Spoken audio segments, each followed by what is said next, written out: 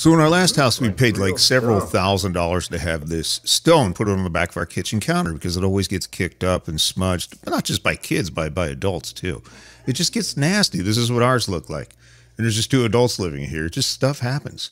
So we picked this stuff up on Amazon, and I was surprised how close it looks like to real stone. The only thing I wish is it was wider because it's a hard time kind of lining up the seams to make it look natural, especially if you're putting it up and down like this.